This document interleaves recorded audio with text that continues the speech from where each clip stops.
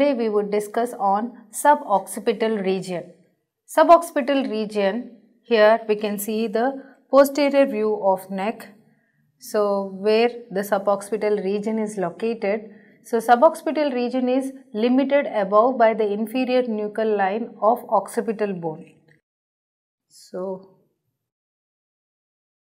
here is the external occipital protuberance, superior nuchal lines on each side side and inferior nuchal lines. So, above it is limited by inferior nuchal lines and uh, below by a massive spine of lamina of second cervical vertebra that is axis.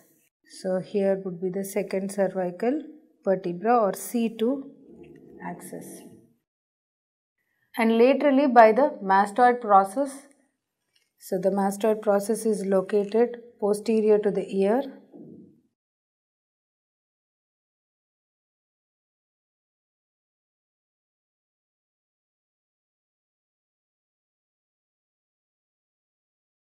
So, superiorly by inferior nuchal line, inferiorly by the lamina of C2 on each side and laterally by the mastoid process and transverse process of atlas and axis as well. So, these are the boundaries of suboccipital region. This region is clinically important because neurosurgeons approach the posterior cranial fossa through this triangle. Suboccipital muscles. The suboccipital muscles are short postural muscles that lie deep in the suboccipital region. They connect the first cervical vertebra that is atlas to the second cervical vertebra axis. So, here uh, the muscles are covering the atlas and axis.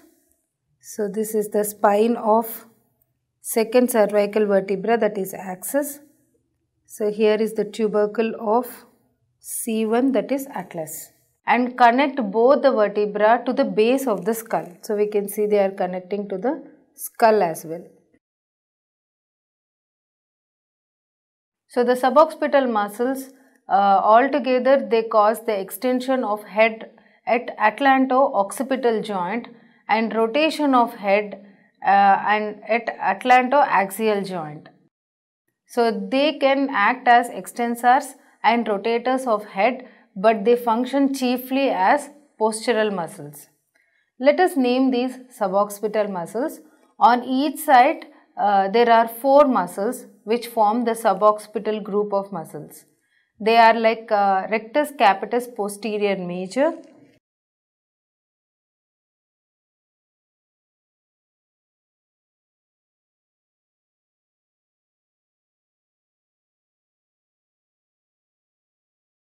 rectus capitis posterior, major muscle. The next is the rectus capitis posterior minor. The medial one, smaller one is capitis posterior. minor muscle and the third one is obliquus capitis inferior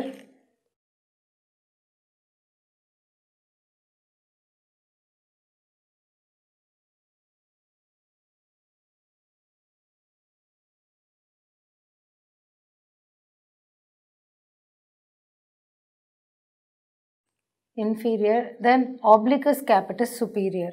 The lateral one is obliquus capitis superior. So, these are the four uh, suboccipital muscles. All these muscles are supplied by dorsal ramus of C1 spinal nerve or suboccipital nerve.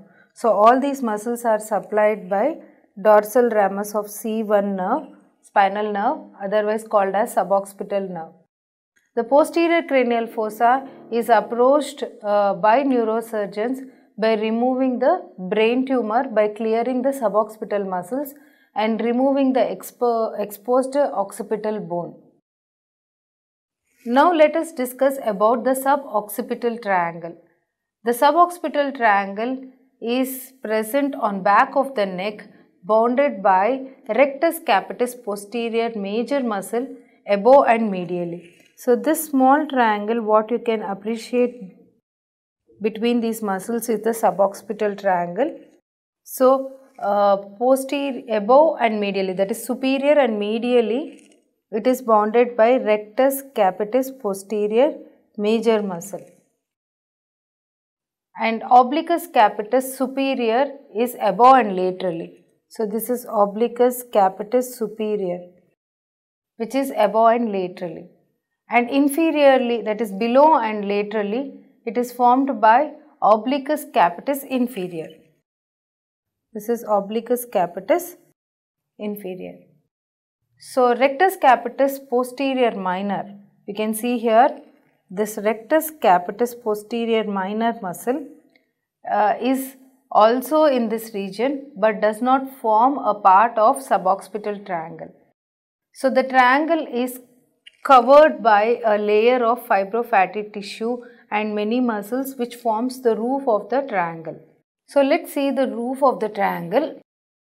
As I said that a triangle is covered by a layer of dense fibrofatty tissue. So, here the fibrofatty tissue is removed and uh, the, which uh, deeps to lie deep to the semispinalis capitis muscle.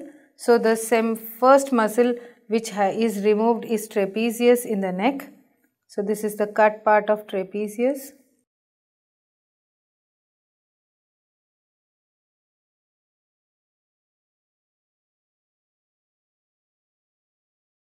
Deep to trapezius is semispinalis capitis muscle.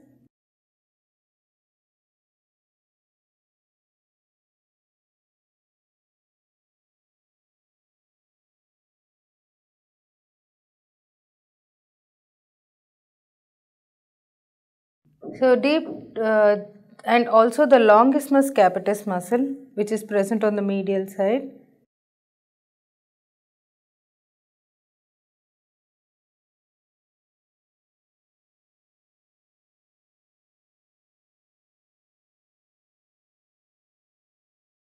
So, these are the muscles which cover the triangle forming the roof of the triangle.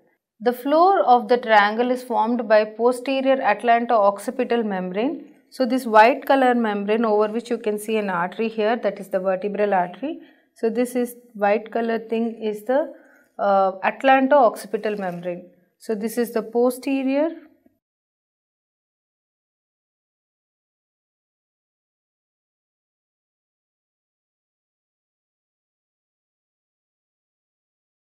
So, posterior atlanto-occipital membrane and also the posterior arch of the atlas we can see here part of the muscle is rectus capitis posterior major is cut and removed to expose the arch of the atlas.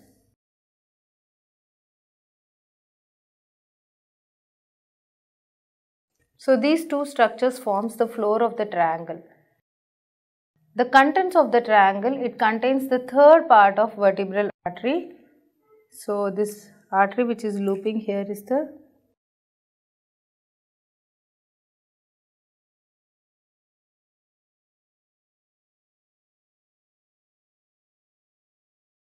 So, vertebral artery and dorsal ramus of C1 nerve, suboccipital nerve which supplies all these suboccipital muscles.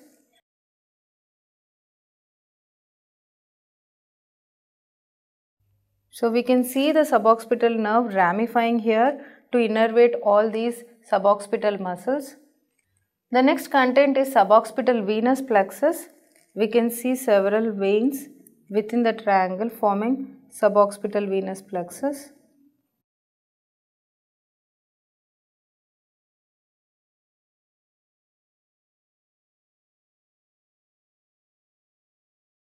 So, these are the contents. Vertebral artery and suboccipital nerve lie deep uh, in a deep groove on the upper surface of the posterior arch of atlas.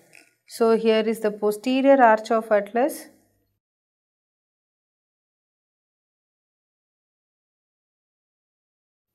which forms the floor of the triangle. We can see about to which vertebral artery and suboccipital nerve. C1 that is the first cervical nerve dorsal ramus. So, they are present in the groove on the upper surface of posterior arch of the atlas. Suboccipital plexus of veins uh, lie in and around the suboccipital triangle. It connects the veins like uh, the muscular veins of the neighboring six muscles. Occipital veins, they connect the occipital veins, internal vertebral venous plexus, condylar emissary veins from the sigmoid sinus, deep cervical vein and plexus of veins around the vertebral artery. So hence uh, these venous plexus provides a number of alternative routes for venous drainage. The connection between the suboccipital venous plexus and internal vertebral venous plexus serves as a path of intracranial infections in carbuncles of neck. Next we shall talk about a structure which is a content of the roof called as greater occipital nerve. So here we can see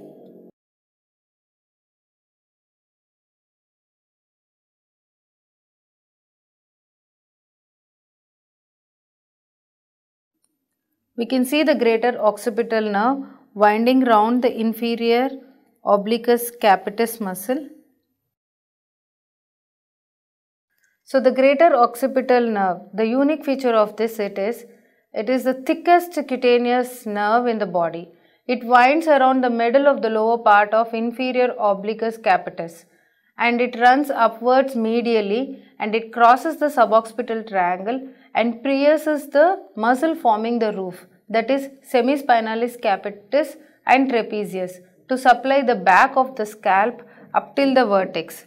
So, it pierces the trapezius semispinalis capitis up till the back. So, it is mainly meant to supply the posterior part of the scalp. Next regarding the occipital artery in the suboccipital region, the occipital artery runs deep to the mastoid process and muscles are attached to it. You can see here, this is the occipital artery.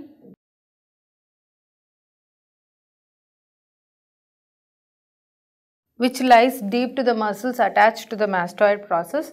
Occipital artery is a, a branch of external carotid artery so it is uh, lies deep to sternocleidomastoid, splenius capitis and longissimus capitis muscles. So this is the splenius capitis, here is longissimus capitis.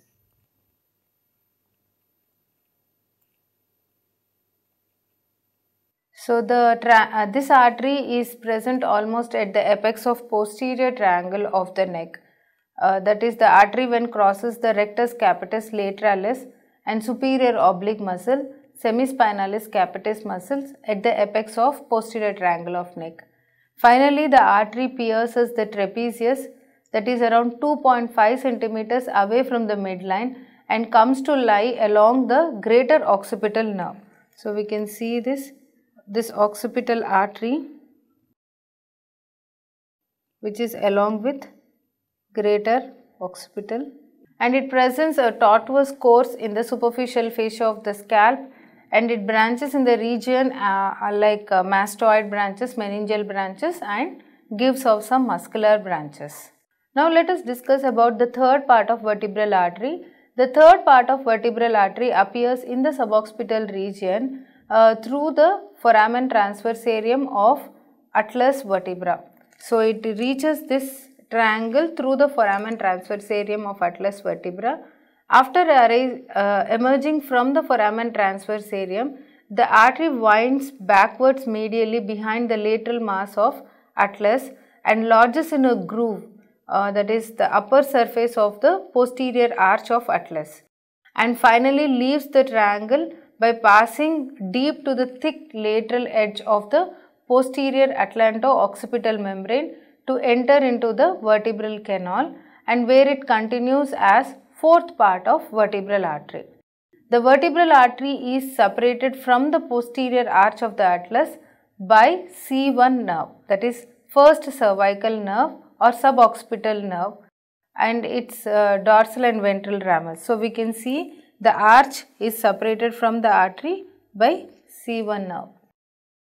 The tortuous course of the third part of vertebral artery in this region may serve to damp down the arterial pulsations within the cranial cavity. But it is affected by atheroma that is uh, plaque forms in the artery and also it is affected by the movements of head and neck and may affect the flow of blood through it and cause the temporary fainting or unconsciousness. First cervical nerve.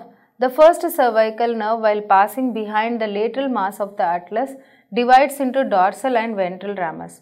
Dorsal ramus otherwise called as suboccipital nerve breaks up immediately into five uh, muscular branches to innervate four suboccipital muscles that is rectus capitis posterior major, rectus capitis posterior minor, obliquus capitis superior and obliquus capitis inferior and also supplies semispinalis capitis as well. So, here in this image we can see the dorsal ramus of C1 splitting into 5 terminal branches. Ventral ramus supplies the rectus capitis lateralis and rectus capitis anterior.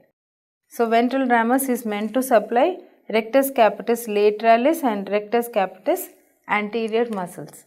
So, with this we complete the suboccipital triangle. Thank you.